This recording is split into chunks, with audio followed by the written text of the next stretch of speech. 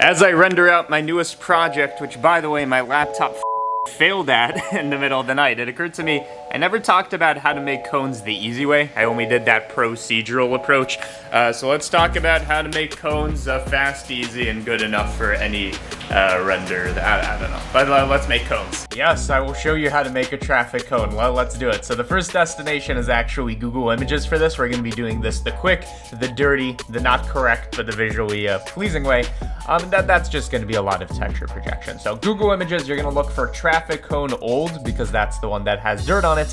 And you're gonna notice that all these images have like their insignias on it. It's like, wow, you, you might think that a cone is a highly valuable object with all these fucking, they don't want people downloading these images for some reason. Coveted cone. Uh, so instead, here's the trick. What you're gonna do is you're gonna go to tools, you're gonna go to usage rights, you're gonna go to Creative Commons, um, and here are the decent people that aren't gonna put their logo on everything. So uh, just pick a cone you like and any of these really doesn't matter. I think I used this one for the original, so I'm just gonna use it again. Uh, different cone, you model it differently, but essence of it's the same. So pick a cone, save it, call it the cone.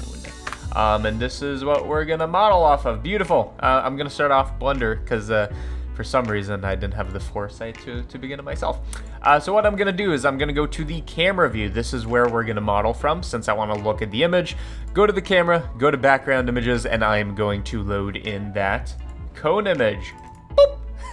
um, one thing, by the way, you're gonna notice this is stretched. You can either fix that by, you know, going through these uh, settings. Uh, I recommend just, you know, matching the resolution. Uh, what is the resolution of our image? Good question. Properties, details, 70, 768, 1024. Easy enough. 768, 1024. Beautiful. So uh, what we're gonna do is we're gonna model the cone to this view. We're gonna project it, we're gonna do some adjustments, and it's gonna be a good time. So uh, let's add in a cube, wireframe mode so we can actually see the photo under it, and I'm just gonna start reshaping things, and then by enabling um, camera to view, which lets me actually move the camera as I view, I'm just gonna adjust this so it's roughly um, taking up the same space as the image. The better you do this, the less trouble we have down the road. And believe me, you don't want trouble. Um, so just scale it, make it look like the, the result. Doesn't need to be perfect. Um, for the cone part of it, uh, just inset like this, and we need to turn it into a circle. Um, and there's a great trick for that. So after you do the inset, oh, god damn it, full screen, what you're gonna do is you're just gonna subdivide a bunch. Uh, the more you subdivide, the higher resolution your circle is gonna be in some sense. Uh, so turn this into a dense grid by subdividing a lot. X limited dissolve or dissolve faces, I guess either one works, is going to now, you know, undo all that progress. You're like, well, why did you do that? It's because the vertices are preserved, which means now you can use the uh, to sphere command, and uh, you see it turns it into a sphere. I'm gonna set it to one, and uh, now we got a thing. Extrude it on the z-axis. Beautiful. How tall does it need to be? About that tall. About that skinny. Um, and you know, if it doesn't line up, what are you gonna do? Are they gonna arrest you? They might. uh, just do your best to uh, model this uh, to the mesh. Uh, and we're going to be doing the final adjustments in UV. By the way, while I do these final touches, quick story time with your boy. I feel like I'm getting sick, uh, which isn't good because uh, it makes talking really hard. So if I sound more nasally than usual, that's what's going on. So, bevels. Did you enjoy that story time? uh, just bevel the thing until it looks, you know, good. You don't need that much geometry since it's all going to be texture based anyways.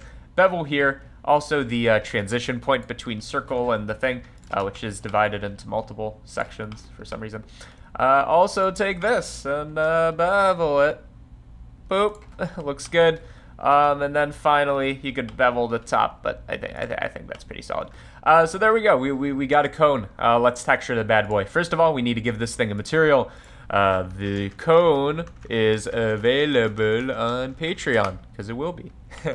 um, and maybe the whole scene I was showing you in the beginning. Uh, make a material. What should the material be? It should be an image texture. Uh, what image texture? It should be the, nope, not that one. It should be the cone connect it. By the way, this is a Node Preview add-on. Don't worry about it. Link in the description if you do, if you're worried about it though.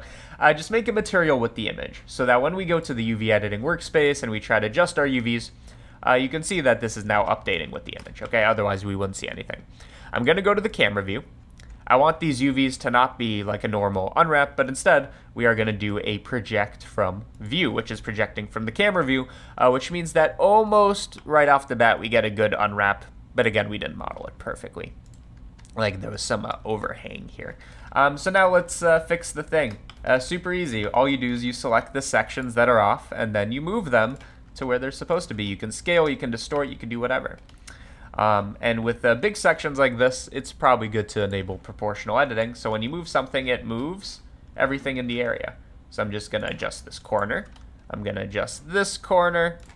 I'm going to adjust this corner. And we can even do a second round of tweaking. That's right. You heard the man.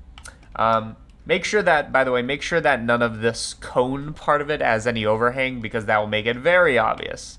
Uh, like you see here, we have like the asphalt behind it. It's catching some of that in the projection. Uh, if you can, try to avoid that. So I'm just going to bring this down a bit, move it just so it doesn't have that issue. And let's do the same thing on the other side. And that looks pretty solid. Okay, uh, so here's our initial projection uh, for the cone. By the way, uh, normally this kind of thing messes up from behind it, and you're wondering, well, why doesn't it not really here?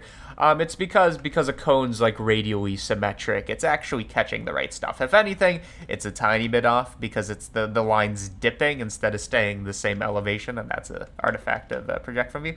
Uh, but it looks pretty good. Uh, just let's do a couple fixes. So you're seeing there's a bit of ghosting on some of these faces, so you could just select these faces that are troublesome. And by the way, it's easier if you don't see it here. Um, you select some of these faces that are troublesome, and then you move them just a bit, and you see that captures the color. So here's before, after. Uh, you could do this on the other side too, but I think it looks pretty good. Okay, now let's uh, bring it home. Uh, what I'm going to do is I'm going to take this shade smooth, how smooth, well not everywhere, like that. Um, I'm going to now model in some of the extra details, so you could inset the cone. This is so much better than the uh, procedural approach I mean, the procedural approach wasn't meant to be like practical. It's just like a thing you could do. Uh, but here's how you'd make a, a real cone for your scene. Uh, for the bottom, I want to make these tiny uh, little legs. So what I'm going to do, uh, K for the knife tool, I'm just going to click. Uh, you want to kind of make a square here. Uh, if you enable C, cool trick, it, you know, refines it, not refines it, confines, constrains. That's probably why it's C, C for constraint. Um, it constrains you to go exactly 90 degrees. Um, so I'm just making a polygon here, and I'll explain why I'm doing this, this in a second. I'm just making it nice and uh, parallel, a square, not a parallelogram. Not that a square isn't a parallelogram. I'm making a uh, polygon here so that I can very quickly and easily make the little feet of the cone. So I'm just subdividing so I don't have to do any work here. Just selecting, uh, well, I guess it wouldn't be every other one in this case because the uh, number isn't correct. So I could just do the corners um, and maybe these. I don't know. I haven't seen a cone in a while. Uh, just make little cone feet. Bevel the little cone feet. And no, those can rest on the ground. Um, so the, there you go. That's a good looking cone. Uh, just to make sure that it looks good in your uh, render, uh, whether it be Eevee, cycles, whatever. Of course, you're going to want good lighting.